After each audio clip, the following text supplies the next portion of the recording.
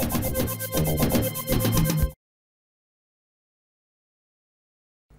O monóxido de carbono é um gás tóxico, asfixiante, invisível, inodoro e pode matar rapidamente. É o produto da queima e filtragem inapropriada de gás, gasolina, petróleo, querosene, madeira ou carvão.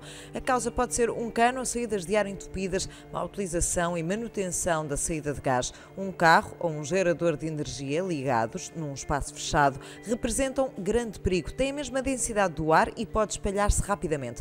Ao ser inalado em grande quantidade, é absorvido pelos pulmões e entra na corrente sanguínea misturando-se com a hemoglobina em vez do oxigênio. 0,1% no ar mata numa hora, 1% em 15 minutos e 10% imediatamente. A intoxicação aguda pode levar a tonturas, perda de consciência, problemas musculares, coma e até morte.